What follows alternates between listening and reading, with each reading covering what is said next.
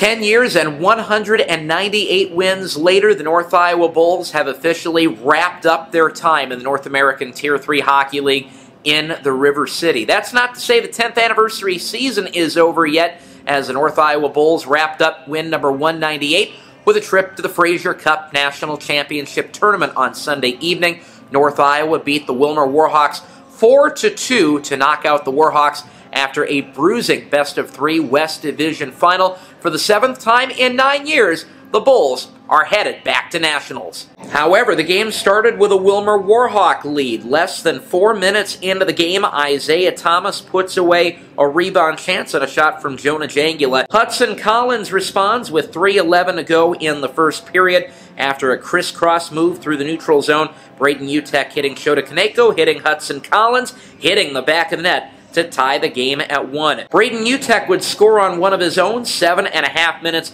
into the second period, and North Iowa cruised from there. They scored four in a row, wrapped up with a rebound goal from Sota Isogai at 12-14 of the third period. Alex Kutka added one late, but it was too little too late as the Bulls grabbed the 4-2 victory and a West Division playoff championship. Uh, yeah, it feels great. I mean, uh, I mean, I've been working towards this for a long time, and uh, it just feels good.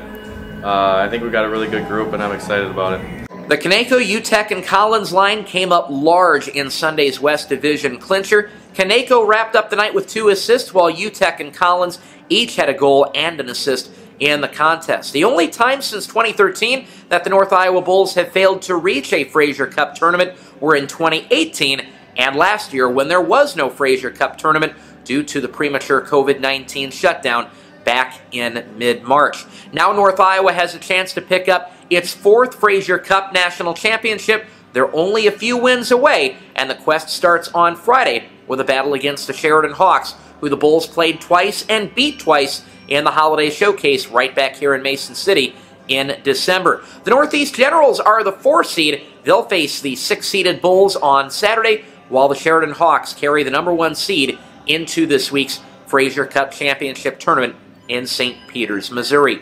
North Iowa is headed there as well as they beat the Willmar Warhawks 4-2 to take two games to one win in this weekend's West Division Championship Series. I'm Austin Droughty at the Mason City Multipurpose Arena with your post-game recap.